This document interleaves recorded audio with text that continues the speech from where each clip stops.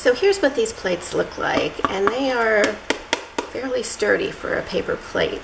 Um, I'm going to use this as a hump mold because I want the texture of my slab to show up inside my plate. Um, you can use them as slump molds too, just be extra careful. It does have a little embossed Chinet logo in the middle there and I don't really think you want that on your finished pot.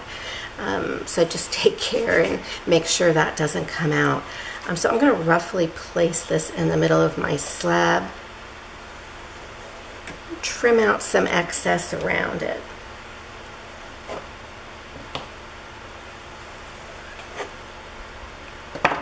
You don't want the weight of your clay too heavy on the side because it's going to tend to bend this.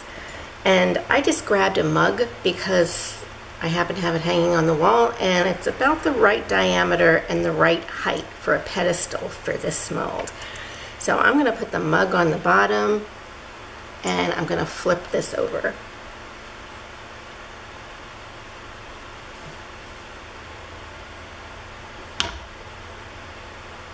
So now I have my slab centered roughly on my mold. And I'm going to take this foam roller and gently push the sides of this down. I just want to maintain those angular sides.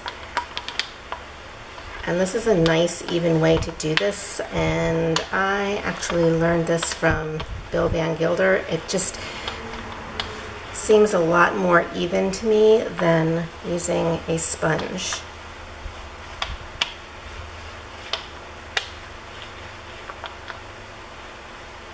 And I want to make sure to maintain that angular top on here so I can get that impression in my plate.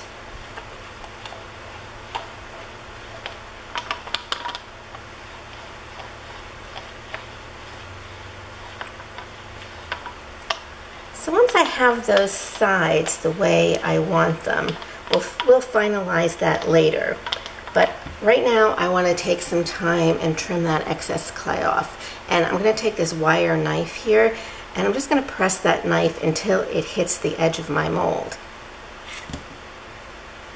I'm going to take that clay away. This is one of my favorite tools.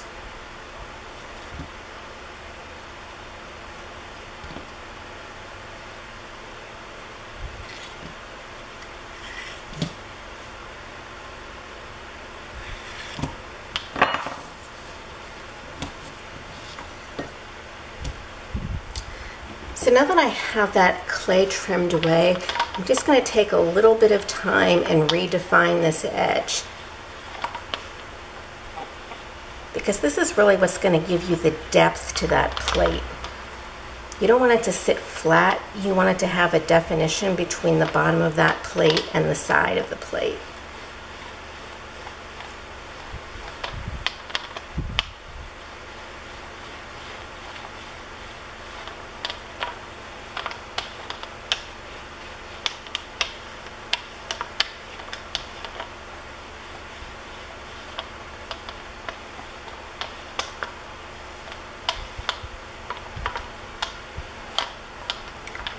And that's it. I have this and I'm going to set it aside and when it's soft leather hard, I'm going to take a shore Surform and just round those edges off. Through the magic of video, this is now set up and it's leather hard. So I'm going to take it off my mug, remove the plate,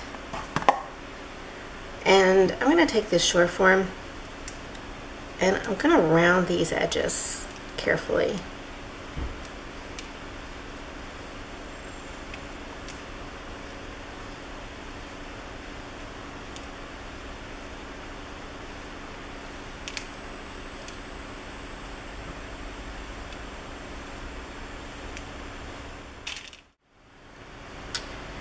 And once I've taken off those sharp edges with that Surform, I'm just going to take one of these wedge sponges here, hold that in my hand,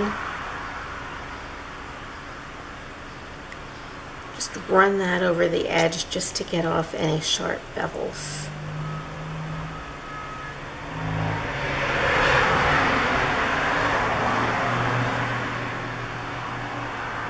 Yes, it's a busy road that I'm on, and I've got the door open so you hear all the traffic whizzing by.